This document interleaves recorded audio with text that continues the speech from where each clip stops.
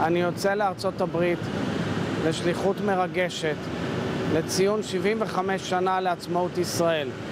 הוזמנתי על ידי יושבת ראש הקונגרס הקודמת, ננסי פלוסי מהמפלגה הדמוקרטית, ועל ידי יושב ראש הקונגרס הנוכחי, קווין מקארתי, מהמפלגה הרפובליקנית, לשאת דברים במושב מיוחד של הקונגרס ובית הנבחרים לציון 75 שנה לעצמאות ישראל. אירוע מרגש ונדיר, שבו אשא דברים בשמם של כל אזרחי ישראל. אשא דברים עם הסיפור הישראלי המרגש, המדהים, של היחסים בין ישראל לארצות הברית.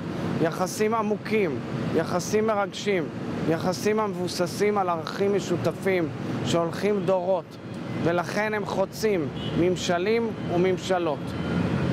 אומר יותר מכך, אני מתרגש שאפגוש מחר את הנשיא ג'ו ביידן, ידיד אמיתי של מדינת ישראל, אוהב ישראל, ששמחתי שגם בשיחתו עם ראש הממשלה נתניהו הערב הוא חזר והדגיש את המחויבות האמריקאית לביטחון ישראל, למאבק באיראן, למאבק באויבינו בכלל באזור ולשיתוף פעולה הדוק בתחומים הביטחוניים, הכלכליים והמדיניים.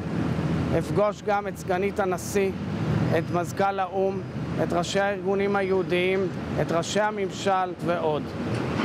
אבל גם כשאהיה שם בארצות הברית, ליבי ומחשבותיי יהיו נתונות למה שקורה בישראל. אני חוזר וקורא לחברי הכנסת ולכל פעילי הציבור, אפשר להגיע לנוסחאות סבירות, גם בנושא הסבירות וגם בדברים אחרים. זה פשוט מחייב מאמץ, זה מחייב לוותר קצת, זה מחייב להיכנס לחדר, זה לא חייב להיות בבית הנשיא, זה יכול להיות גם מאחורי הקלעים בכנסת. תתאמצו.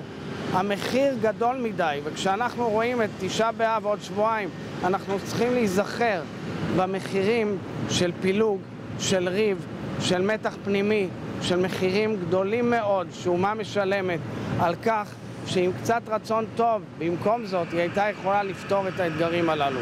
ואני קורא לכולם לעשות את המאמץ הנוסף הזה דווקא בשבוע הזה.